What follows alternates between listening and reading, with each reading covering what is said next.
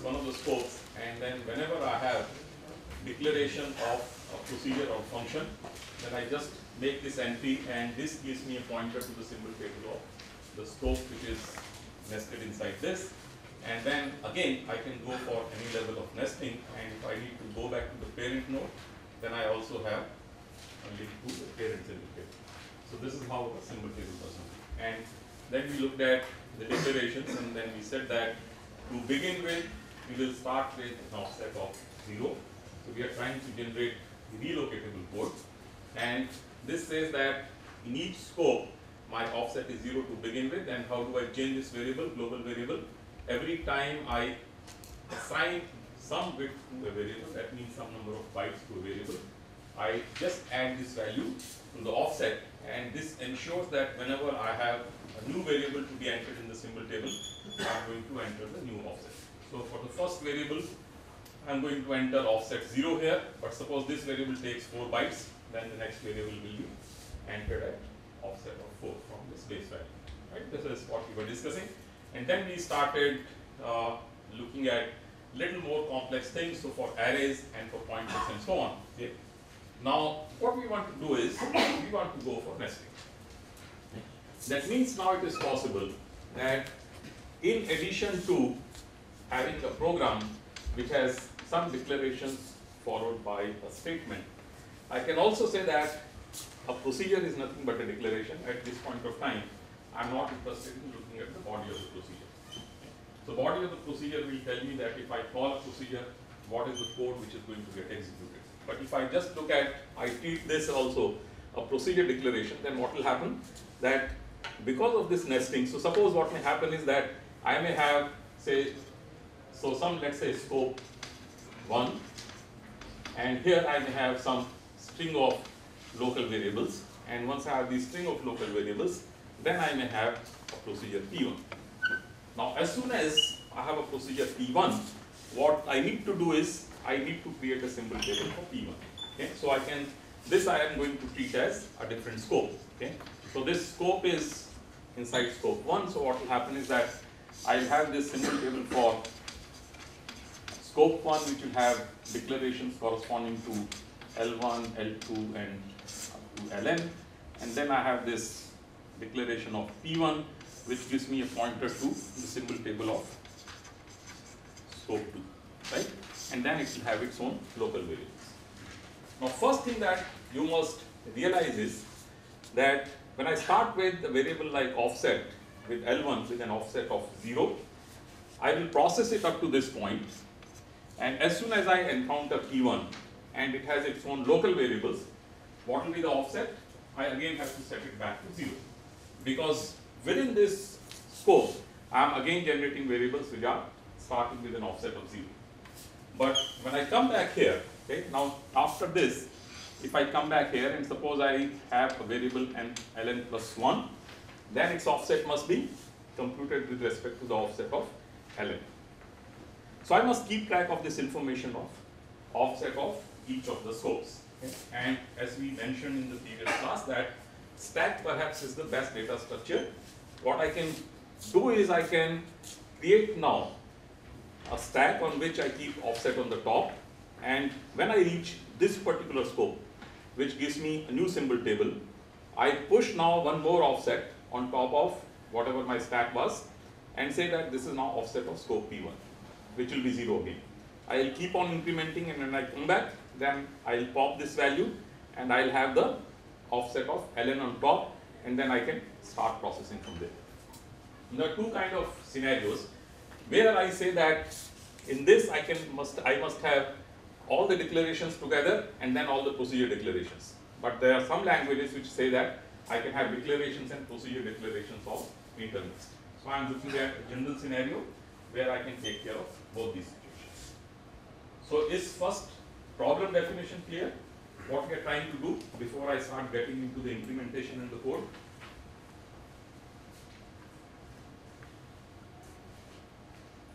Yes, no. Is problem definition clear or not? Not sure. Why don't you ask questions if it is not clear?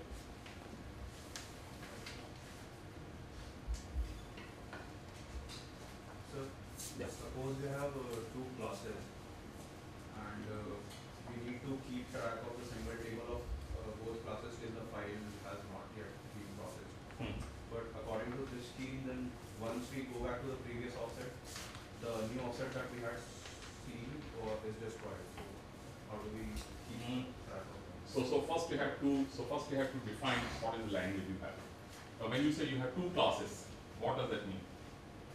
So normally, if you look at object-oriented languages, although we are not dealing with object-oriented languages here, and we are assuming that I have only one class. Okay? What will happen here that you will have a class definition and then you will have another class definition.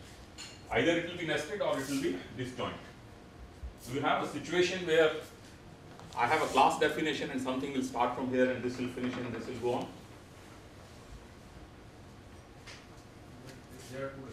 Are two different. There are two different scopes, right? But suppose I call. Uh, I No, wait, wait, wait. I'm not calling at this point of time, right? I'm only creating, I'm doing compilation, I'm not executing at this point of time. That will come later, how to manage the runtime. No, even if uh, I'll be doing type checking. So uh, suppose there is a declaration that Wait a wait a minute. You're mixing several things. First, we are trying to build the symbol table. Your type checking will start only once I have the symbol table, right? so uh, here once we have completed a symbol table. I mean we have completed the scope of scope for which we have built a symbol table. We don't keep inform uh, don't keep track of the where the symbol table is stored. No, we do, of course. What do you mean we don't keep track of where symbol I mean, is? uh, we are pushing that information on the stack.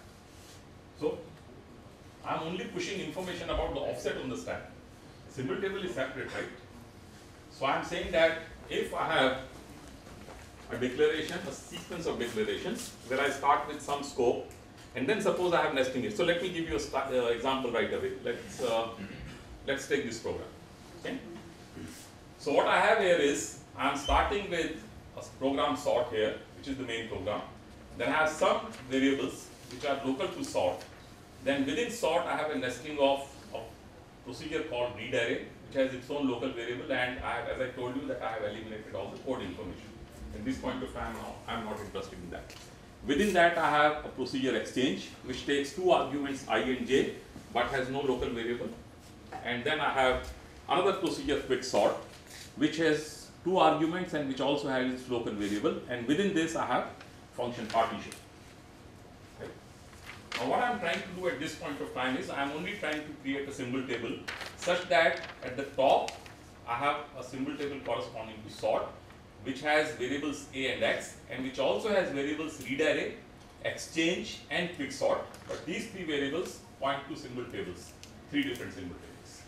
And then from these symbol tables I also have a pointer which is pointing back to the sort. Right? So I'm keeping all the symbol tables, I'm not throwing anything.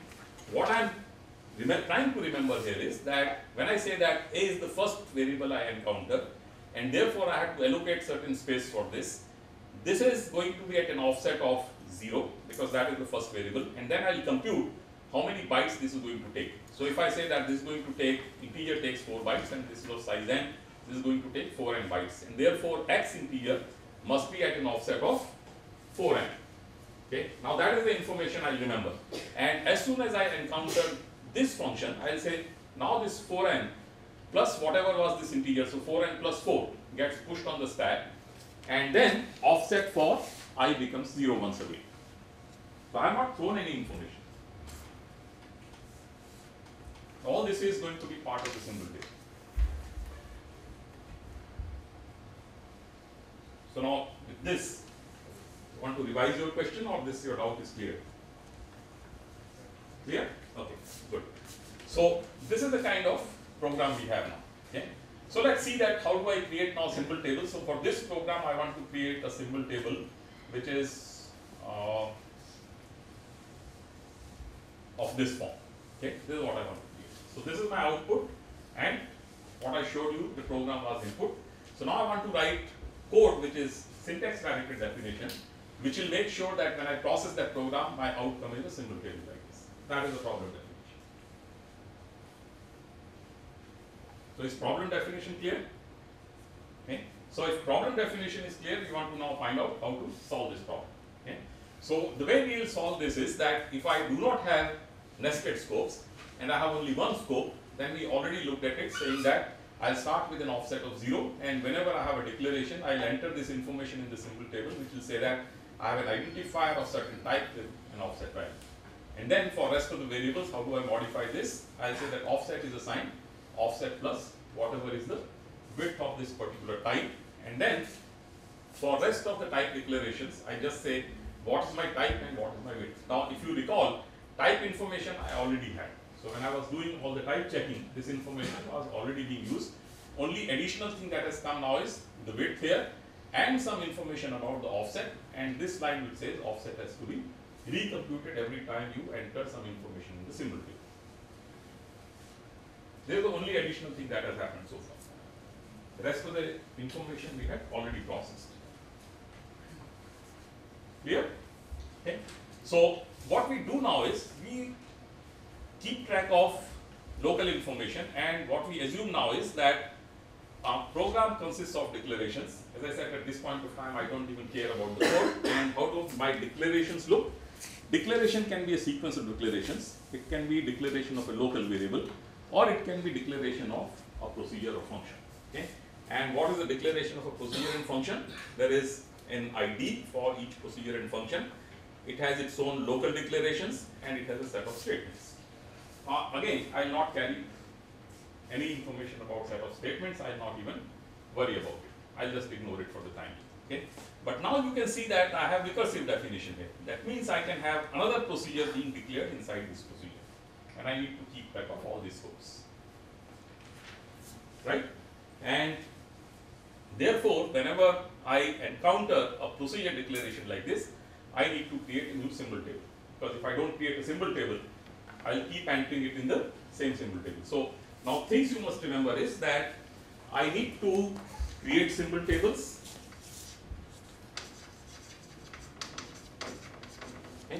This is one thing I need to do. What are the other things I need to do for nested scopes?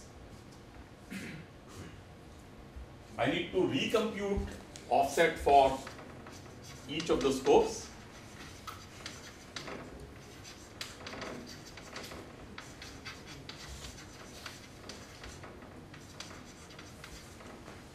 Right? I also need to remember the scope of the uh, offset of the previous scope.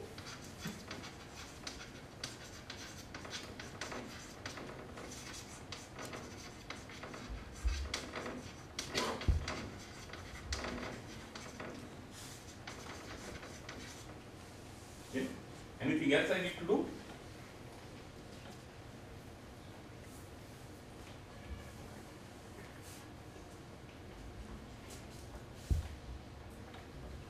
No, you need to do a lot more. So you also need to remember when I say create a symbol table and I have this declaration. So let's say I have a declaration like this, It says DIT.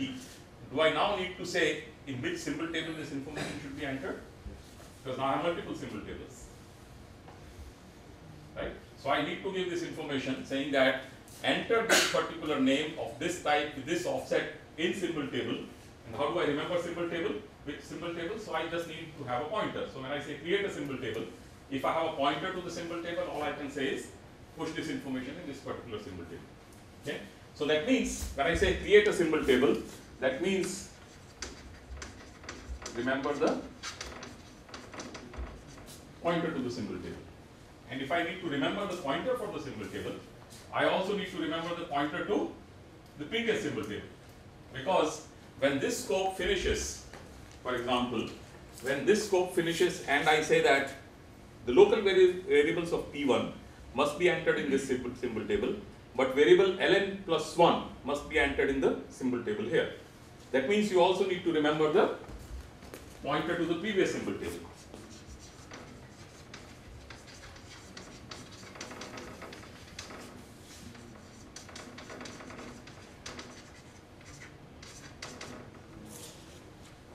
Right? Now you can immediately see that when I'm talking about creating a symbol table, having a pointer, remembering the old pointer, uh, recomputing the offset and remembering the offset, okay, I can just have two stacks. On one, I'll keep the pointer to the current symbol table, and on one, I'll keep the offset to the current variable in that particular scope. And whenever this symbol table finishes, that means this particular scope finishes, and I come back, I just need to pop this pointer, and I need to then remove the offset and continue processing from there. Right? This is exactly what I'm going to do. So now we'll say that when I have this nested scope, we'll say that entry for D1 are created in the new symbol table and the name is represented ID which is local to the enclosing procedure. So this ID which is name of this procedure is a local variable to this program but these declarations are going to be inside ID which is in this symbol table. I still see a lot of blank faces. Something is not there. Something is terribly wrong. The? So I need to remember the pointer to the symbol table. I need to remember the offset in that particular symbol table. That's the only thing. You want to push it in one stack with two entries, like a stack of register structures, it is fine. I mean, how does it matter?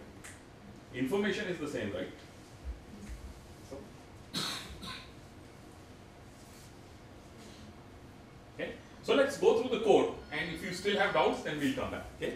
So this is the code. This is what we want to create. Okay. So let's see how do we create symbol table. So I have a function which says create a table, and this also gives me pointer to the previous table. That means if I am now creating a table for this, okay, it returns just a pointer. So create a new symbol table and return a pointer to the new table. And this one I'll remember and argument previous points to the enclosing procedure. So what I'm saying is now, so when I say that I want to create a symbol table for P1, okay, I'll say pass to this function which says create this table pointer to this particular symbol table.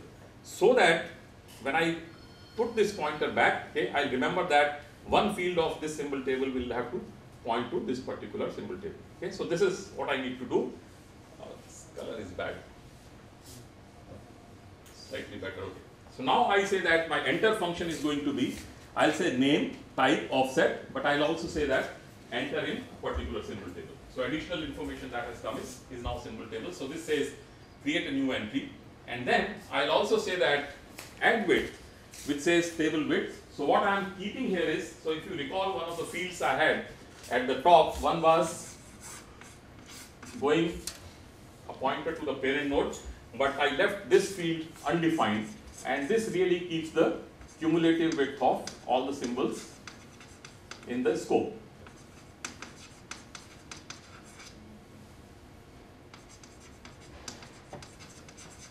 Okay. So for example, if in for some particular scope I have five variables declared all are integer, then I know that in this particular scope I need 20 bytes. Okay. So this information I also want to keep ready with me. So this gives me the cumulative width of all the entries in the symbol table, not of the enclosing functions, but only the local variables there. And that information becomes useful when I start designing my runtime stack. So let's see in presence of these functions, how will I do that? And I have one more function which says now enter procedure name. So this says that within this table enter a name and a pointer to the new symbol table. Okay. So when I say that in this function, either I am going to add a variable or I am going to add a variable of type function and say that this must have a pointer to the new symbol table. Okay. These are the four functions I need. Okay. So let's quickly go over the code and then see how it helps me and whether we are able to understand this. So when I start now processing my program, first thing I say is create a symbol table with nil as a pointer, it has no parent, okay?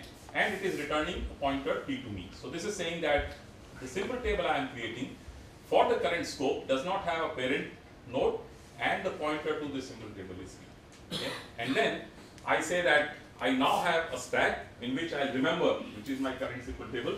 So table pointer is a stack in which I am going to keep this information which says that t is the current pointer. So basically what will happen is something like this that if I now encounter my same program and I first say that the sort is the program at the top level, what will happen that I'll say create a symbol table for sort. So this gives me a pointer and then I have this stack which is table pointer and this has this entry corresponding to sort. So basically this is nothing but an entry here. this is what I have done by this function that I created a symbol table and then I have pushed this into the table pointer. Okay, and then what do I do? Now I say push zero on the offset. So I have another stack in which I keep information about the offset and I push zero here. So earlier offset was a global variable, now offset is just going on the stack. Okay, and then after this initialization, what do I do? I have processed all the declarations corresponding to local declarations corresponding to this particular scope and after I have finished this, what do I say? That I am going to add width of all these declarations into the symbol table which is pointed to by top and whatever is on the top of offset. So what will happen is that as I keep entering variables in this, this offset will keep changing, right? And whatever is this final value, suppose I had five variables in that. So I had a variable which was array and I had a local variable which was integer, so together that was giving me 44 bytes and therefore at that point of time this offset must have been become 44 and I am going to enter this information now 44. So basically this is saying that add width whatever is being pointed to by this particular entry and this is the value to be entered with. That will happen after I have processed all the declarations and then I'll say now pop this and when I pop this I've finished creating symbol table and I am going to pop the pointer, I am going to pop the offset and I'll continue from there. So this is for the outermost scope. But what happens to the inner scopes? Okay. So for inner scopes, what happens is that I have a declaration which is of type procedure ID. So now suppose within sort program I had read right? Now when I encounter array, what will I do? When I say proc ID, what are the action I need to take? I need to create a symbol table. So I need to create a symbol table and push the pointer here. Okay. So I now create a symbol table which is corresponding to array. And this entry will be pointing to the symbol table of array. Okay. And then once I have done this, I'll now say that I'm going to push this t on the table pointer and I'm going to push 0 on the offset. So I'm going to push 0 here. Okay. And after that, what will happen? I'll look at the local declarations. Okay. Local declarations, so D1 are all the local declarations of this procedure. But once I have finished processing this, what will I say that? Now T is, again, this variable will be copied into variable T. So I'll again say that T now is a pointer which is pointing to this symbol table. And then I'll say that add width T and whatever is the offset. So whatever was the offset of the local variables of this particular scope, that will get entered here, right? And then I'll say that now pop both offset and table pointer. So that means I'm going to pop this and I'm going to pop this. That means this particular pointer will be lost. Okay? But I still need to remember pointer to this symbol table. So what will I do? Now I need to make an entry in this symbol table where t will be copied. Right? So this is what I do next. I say that now enter a procedure entry into whatever is pointed to by top of the table pointer. Now this top of table pointer is pointing to sort. So now I'll say that in this symbol table make an entry which says that whatever is ID name and what is the ID name here? Procedure ID, right? So this is name of the procedure and the, what is the second point? Second point says that T. So T is now this particular pointer, so it will start pointing to this.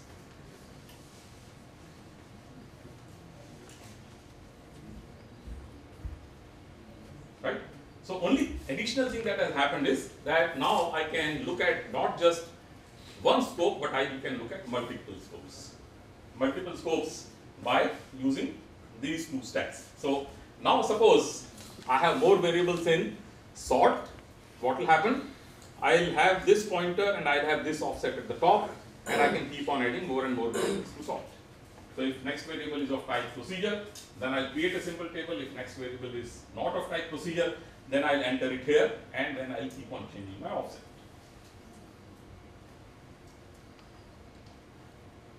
Make sense? Okay. So this is what happens here. Now what about this? Okay. When I say that I have now encountered a variable of type t, what is the function call I am going to make now? Now I need to remember that corresponding to this ID, this is the type information and where is the offset? Offset is in this stack and which symbol table I make an entry into? Whatever is the top, right? So this is what will happen that now I say enter into the symbol table which is pointed to by the stack, this ID name, this type and whatever is the offset of top of the stack. So instead of global variable, now I have put the same global variable on stack and corresponding to each of the scopes, I have a global variable and a pointer to that symbol table. That's the only additional thing I need to do to create symbol table for nested scopes. Now this is making sense? Everything is falling in place? Okay. So these are the only things and then obviously once I finish this, I also need to now change my width. So earlier it was offset being assigned offset plus t width. I'll say offset is in the stack and therefore top of offset is being assigned top of offset plus t. Okay, and rest of the information is going to be exactly same.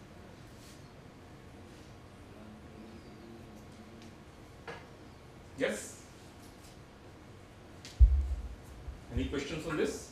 On how to create now nested symbol tables? So I have taken care of both kind of languages where you can have local variables and functions and procedure definitions intermerged or you only have local variables followed by procedures. Both will work in this case. In the second case, you'll find that you will only keep on popping, that is what is known as tail recursion. At the end, and there will be nothing left. Everything will just keep on popping and you will end. Any questions on this? Don't worry, forget it. Tail recursion normally is when your recursion happens in the last statement. That is what the, the standard definition of tail recursion is. So after recursion, when the control returns to the parent scope, you only keep on returning. You don't execute anything.